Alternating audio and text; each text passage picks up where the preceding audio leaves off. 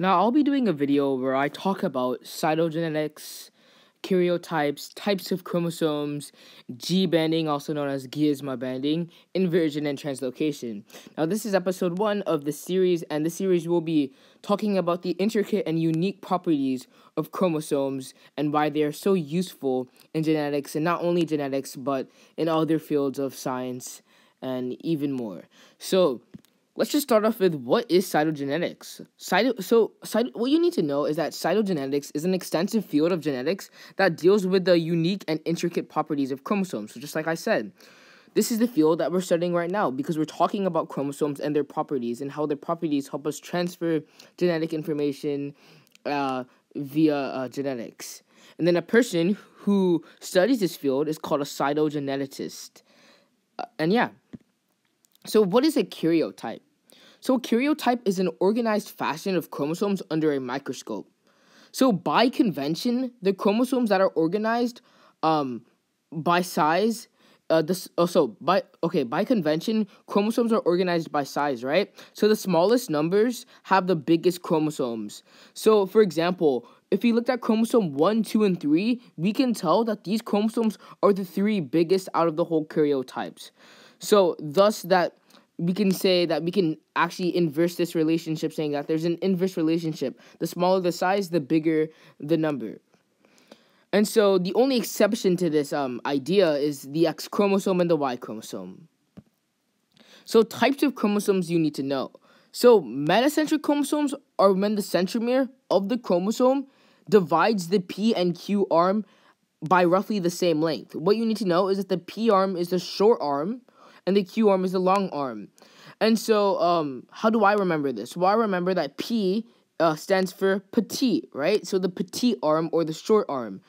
So uh, what metacentric does is that it essentially just divides these into even lengths, roughly about the same length, and then and then that's why it's called metacentric because meta means middle. The prefix meta means middle, so it's centromere is in the middle. And so sub-metacentric is when the centromere is slightly off the middle of the chromosome. Hence, the Q arm, which is the long arm, is slightly longer than the P arm. And then acrocentric is when the centromere is significantly near the end of the chromosome. Hence, the Q arm, which is the long arm, is significantly longer longer than the P arm. So what you need to know is that uh, essentially acrocentric is almost to the end, but it's not at the end, thus that the Q arm is significantly longer than the P arm. So telocentric is the centromere is completely off the chromosome, hence no P arm exists, because if the centromere is off the chromosome, then there's no other arm, meaning that there's no smaller arm, thus P arm does not exist. Let's talk about Giemsa or G banding. So, as we have already claimed, chromosomes are arranged by size. But as you can imagine, if we were to arrange chromosomes such as 8, 9, and 10, then we would be dealing with chromosomes with almost near the same size, making it harder for us to organize the chromosomes. So, scientists have come up with a method to easily differ from chromosomes with roughly the same size. And one of the methods they use, there's obviously many methods, but we'll just be talking about this one, is um, G is, is G is banding or G banding. So G banding is essentially where we where we use a dye called Giemsa, hence Giemsa banding, to stain chromosomes. And the reason why this method or banding is so useful is because, as we've claimed already, chromosomes are arranged by their size and properties, meaning that each of them are unique, so if we were to stain them using this dye, we would notice the different regions in which chromosomes stain darkly or lightly, hence making it e easy for us to identify chromosomes and arrange them by their number. So, inversion. Inversion is a chromosome breakage that inverses or reorientates the fragment of a chromosome that got broken off into the wrong order as it was before. So, what you need to know is that chromosome breakage is when a fragment of the chromosome breaks off. So, inversion is when that fragment that broke off essentially inverses its uh, orientation so it returns back in the wrong orientation as it, as it was before and don't worry in the next slide you will see a picture of this so you can better visualize it now there are two types of inversions pericentric and paracentric pericentric paracentric uh, no pericentric is when the inverted segment uh, i forgot to uh, highlight one of the pericentric but it's fine uh, I meant to highlight pericentric. Pericentric is when the inverted segment of the chromosome lies within the centromere. And paracentric is when the inverted part lies outside of the chromosome. So, um, how do I remember this? Well, I remember that when we're talking about pericentric, uh, there's an I. So, and there's an I, right? Peri, I. So it's inside. And then by negation, I use, I say para, paracentric is outside.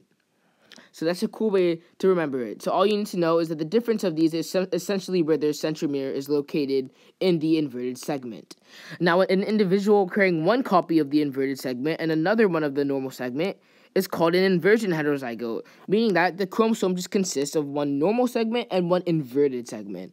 Now, in crossing over in meiosis, we know that there is an exchange of genetic material between homologous genes on chromosomes. Gene uh, homologous just means the same, or so they they encode for the same genes, not necessarily identical, just encode for the same genes. Therefore, for uh, the exchange to happen, there must be a synapse and a synaptal know, complex in order to align. Now, not necessarily, it doesn't must, it doesn't have to be the complex. Um, in some cases of meiosis, species don't use this complex, but uh, we're just gonna say that we need a complex and a synapse in this video in order to align. So basically synapses all you need to know we'll do a video on meiosis is essentially the alignment of chromosomes specifically homologs in a, in a neat fashion but with but so to do this so for these uh so but what if we had an inverted chromosome and a regular chromosome right so what if we wanted to synapse these or I mean cross them over? What if we wanted to cross over an inverted chromosome and a normal chromosome?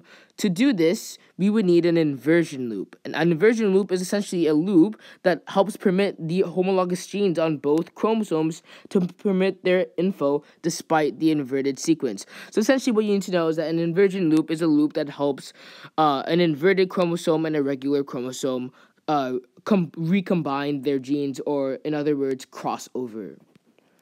Now, here is a picture of uh, inversion. So you can see, I just want you to look in this video, and now you can see this is a loop actually. So synapsis in prophase one, that's the inversion loop, pericentric, pericentric. Uh, so just pause the video and kind of look at this and analyze it for yourself.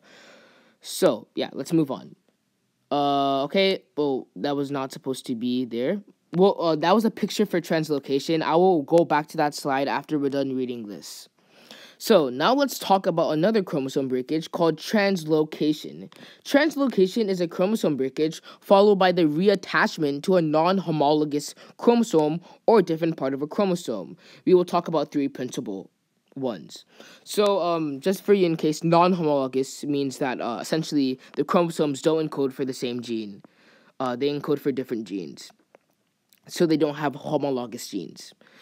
So so basically translocation is when you have the the chromosome breakage, which is just a fragment of the chromosome breaking off, and then the broken off fragment returns to either a different part of the chromosome or to another non-homolog. And so there are three principal ones. The first one we'll be talking about is unbalanced translocation.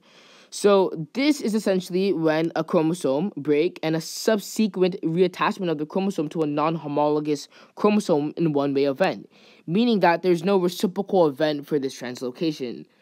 And also, since there is no reciprocal event for this translocation, the totality of the genetic information in, for the the totality of the genetic information is altered. Thus, this is why it's called unbalanced. I should have included that because when there's no reciprocal event, we have changed the totality of genetic information. Thus, this is an unbalanced translocation. Now, a reciprocal balanced translocation is kind of the opposite of this, right? It's just translocation, but there is a reciprocal event. So there's essentially one translocation and then another translocation. So we can say, well, there's breaks on two non-homologous chromosomes, and then the resulting fragments switch places. So kind of a reciprocal event. Now, probably the most mo- important one you need to focus on, obviously focus on all three, but this is a very important one, Robert Robertsonian translocation, also known as chromosome fusion. Involves the fusion of two non-homologous chromosomes. So chromosome fusion is accompanied by the loss of of the centromeres and by the loss of uh, I should have said one of the centromeres and the loss of a chromosome short arm, so P arm. So essentially, what you need to know it's chromosome fusion, and so chromosome fusion is essentially accompanied by um, the loss of a centromere and the loss of a P arm or short arm. The chromosomes involved in a Robertsonian translocation are usually acrocentric or telocentric. Remember, we said acrocentric was the centromere is almost completely off, or telocentric is when it's completely off. These have little or no genetic information in the short arm, thus the organisms thus the organism does not suffer.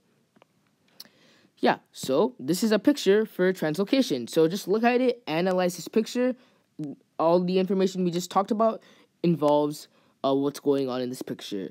And that will be uh, do it for Variation in Chromosomes episode 1. Thank you for watching and stay tuned because we will be posting a lot more soon. Thank you.